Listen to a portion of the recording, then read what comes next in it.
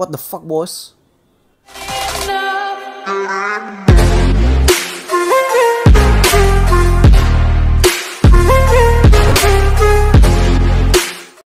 Oke guys, di video kali ini gua bakalan ngasih tahu ke kalian tips bagaimana mendapatkan gems tanpa harus ngebreak.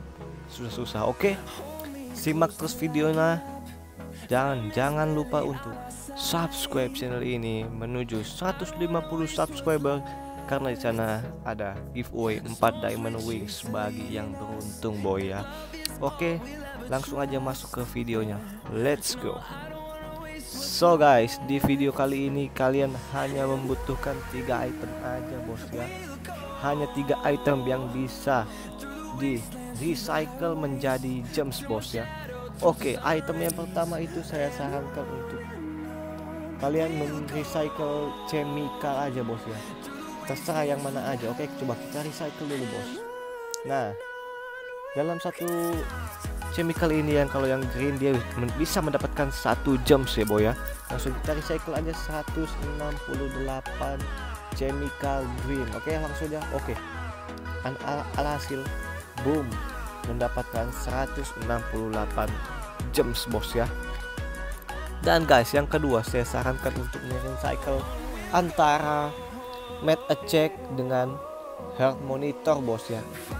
Kalau make a check ini saya beli tadi 28 per WL gara-gara ini masih di Carnival Day boy ya. Jadi mahal. Kalau mau yang murah nanti kalau Carnival Day sudah tutup atau sudah tidak buka lagi. Ini harganya bisa sampai 40 per WLS bos ya. Sangat murah sekali. Dan ini kalau kita recycle satu itemnya adalah 50 gems bos ya. Oke kita recycle satu. 321 Boom. Kita mendapatkan 50 guys. 50 gems Oke? Dan monitor. Ini ya monitor harganya 3 sampai 4 per WLS boy ya. Monitor ini lumayan banyak gemsnya Oke kita langsung recycle aja. Dalam satu monitor kita bisa mendapatkan 400 gems per item bos. Ini lumayan banyak juga ya. Monitor itu bisa mendapatkan 400 jam langsung aja kita recycle satu aja bos. Tanpa ragu oke. Okay. 3 2 1 let's go. Boom! Kita mendapatkan 400 jam ya bos ya. So guys jadi saya kasih tahu aja harga-harganya ya guys ya. Jadi chemical green itu paling murah bosku ya. Harganya bisa satu seribu lah 1k per WLS atau enggak 2k per WLS itu lumayan bos ya. Satu WLS bisa dapat 2000 chemical green itu ya bos ya. Dan ini yang namanya method check ini ya.